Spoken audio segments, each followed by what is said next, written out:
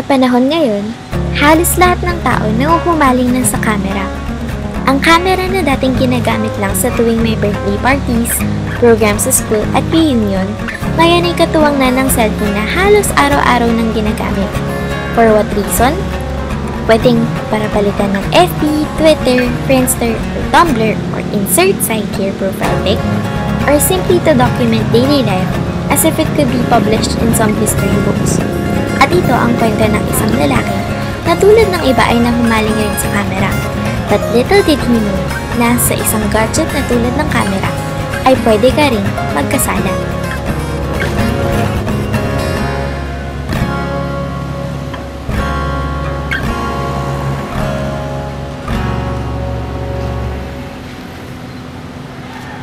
Nung bata pa lang si Bads, pinamanahan na siya ng tatay niya ng dalawang kamera.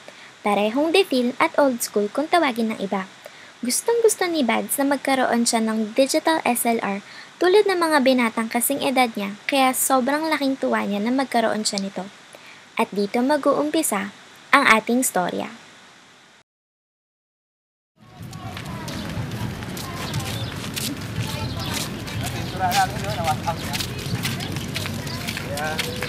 Kuya, bote.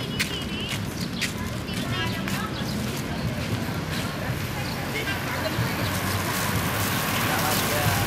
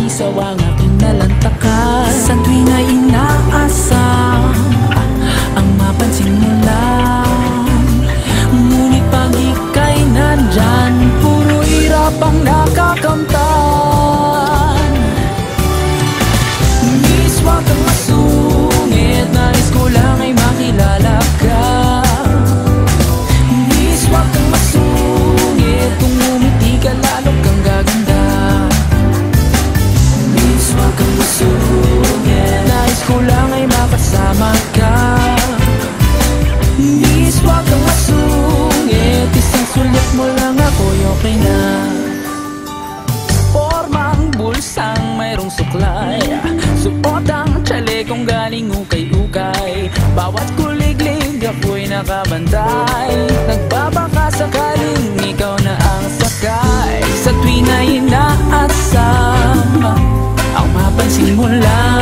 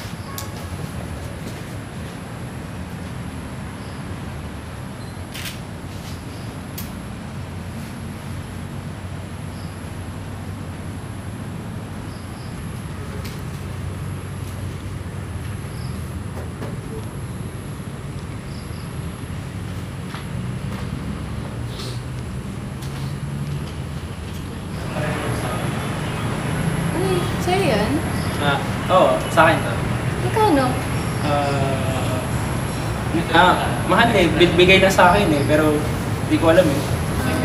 Marunong ka ba? Maturo naman. Ah, dali lang to. Auto lang naman lagi eh. Ah, ah, pero naman, patingin. Ay, low, low bat na kasi. Ah, charge ko na lang mamaya para pag gusto mo gamitin.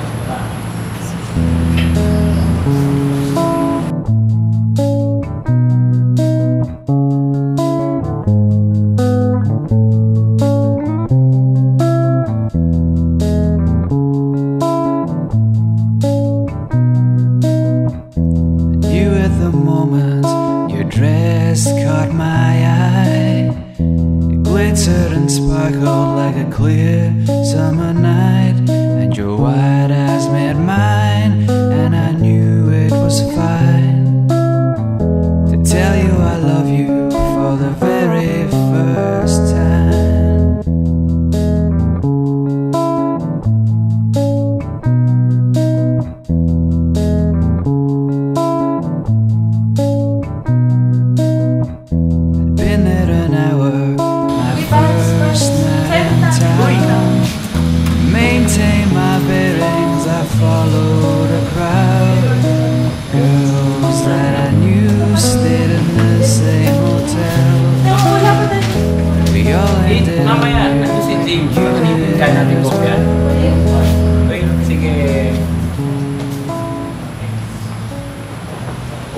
Oh, di ba? Tingnan mo, nasagutan niya na to, sigurado ako. Ah, okay. Eh, di bahala na, bahala O na mamaya. o sige mamaya.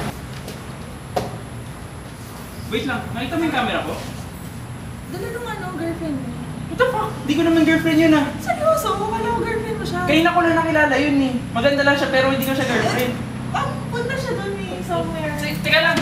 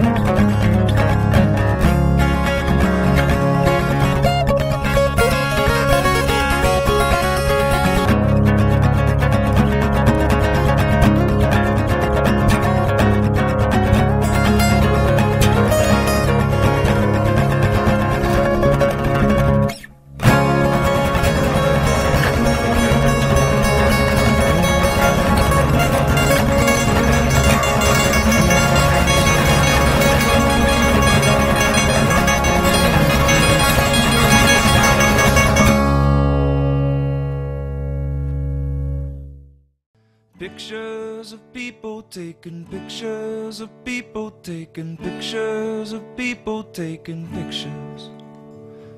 I pictured a sad